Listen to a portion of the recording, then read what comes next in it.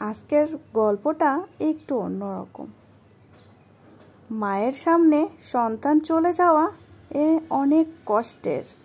বুকে চাপা কষ্ট দিয়ে হলেও বেঁচে থাকতে হয়। সমাজে কত কিছুই না করতে হয়। সন্তান হারা মা আর মা ছাড়া সন্তান, এরা কীভাবে বেঁচে থাকে? সব কিছুই পড়ে থাকে। শুধু কিছু মানুষ জীবন থেকে হারিয়ে যায়। অসহায় এক মায়ের গল্প। ছোট্ট একটা বাড়ি, ভাঙ্গা বাড়ি।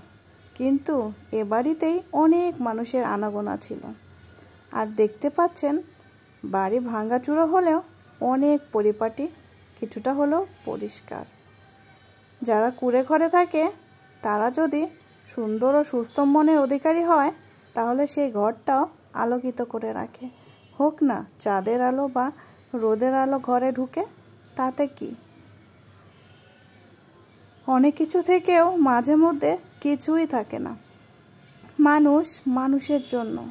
আসলে বিপদে কাউকে কোথাও পাওয়া যায় না। জায়নামাজ হোক, ঘরের এক কোনায় হোক, চোখের পানি ঝরাতে ঝরাতে সেই মাটা অনেক কাঁদে। কিন্তু মায়ের চোখের পানি মুছে দিতে কেউ সামনে এগিয়ে আসে না। কথা বলতে সবাই পারে, দুঃখ মুছাতে কেউ পারে না।